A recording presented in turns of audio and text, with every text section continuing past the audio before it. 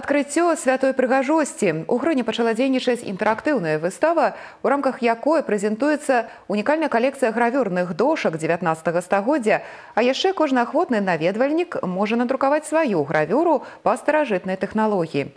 Кацярына Бенадысюк пабывала на экспазіцыі. Гэта экспанаты як адзіная калекцыя за ўвесь час існавання музея гісторыі рэлігіі, а менавіта тут і арганізавана выстава ніколі не экспанаваліся.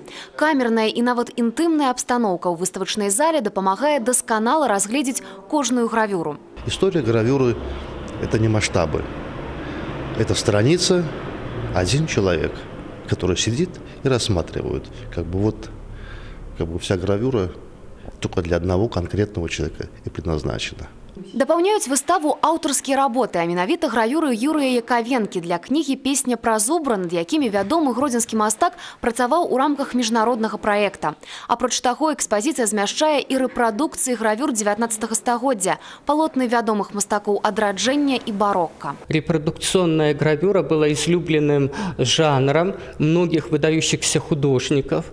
Репродукционная гравюра делалась методом афорта, она вытравливалась в кислоте, и поэтому здесь не надо было большого искусства резчика по дереву или по металлу, и многие художники отдавали предпочтение этому виду искусства, прорисовывая в афорте, э, процарапывая тонкой иглой сюжет. Адкрыццё святой прыгажосці знаёміць і з богаслужэбнымі кнігамі 18 стагоддзя, гравюрамі на рэлігійную тэму і інструментамі для стварэння падобных шэдэўраў. Дададзім, што выстава прысвячаецца 500годдзю беларускага кнігадрукавання, а разам з тым і гравюры і мае статус інтэрактыўная. Дзякуючы чаму кожны ахвотны можа надрукаваць сваю гравюру па старажытнай тэхналогіі.